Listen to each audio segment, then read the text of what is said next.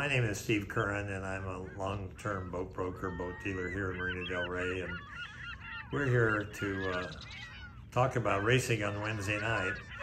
I've been sailing Sunset Series for over 50 years, and uh, always loved it. Just a great event in the middle of the week to be out there with a bunch of people going around the buoys and getting your mind off the problems that we have all week. And uh, we're out in Class C, uh, where all the boats in our class are, most of them are J boats. They're all about one third the age of ours or, or less. And uh, I think the oldest person on board is 82 and the youngest is 22 and uh, all different skill levels and all different personalities, but uh, all take ourselves a little lightly and are having a lot of fun. Uh, but uh, we seem to be having pretty good speed, and right now we're in first place overall for the season.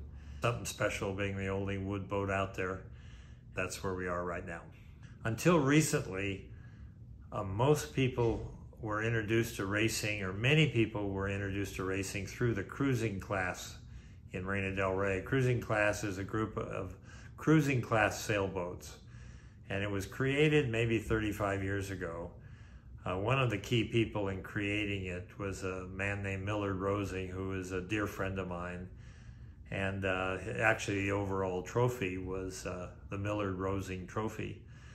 Uh, one of my favorite stories about about the cruising class is, uh, is about a 52 foot boat that uh, I I actually borrowed to do a sea trial a long time ago, and I wanted to do something nice for the owner. I asked him what uh, what I could do, and he said you could take me out racing on Wednesday night. So in those days, I actually was involved in the management of the cruising class, and so I would assign the rating, and I gave him a rating, and I gave him a sail number, and we were out on the water that afternoon on Wednesday night, and he just fell in love with racing to the point that he decided that he wanted to race to Hawaii the next summer.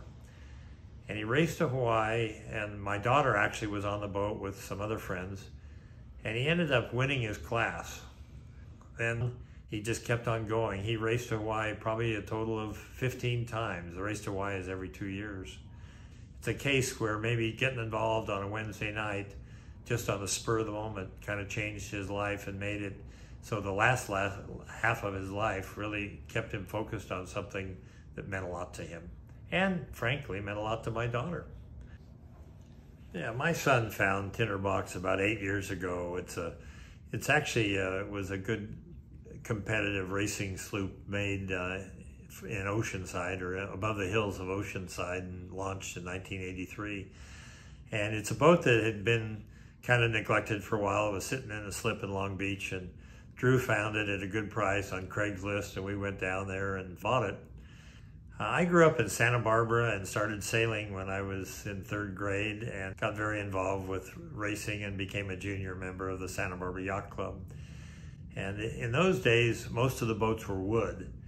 And the old timers around Santa Barbara poo-pooed this new thing called fiberglass. In fact, I can remember one old guy saying if God wanted boats to be made out of fiberglass, he would have planted fiberglass trees. And nowadays, all the boats are glass, or most of them are glass. And I think we're the only wood boat out of probably 80 to 90 boats out there every Wednesday night that's made out of wood. And there's some real advantages of fiberglass. Old-fashioned wood boats would need to be replanked or refastened or sister ribs.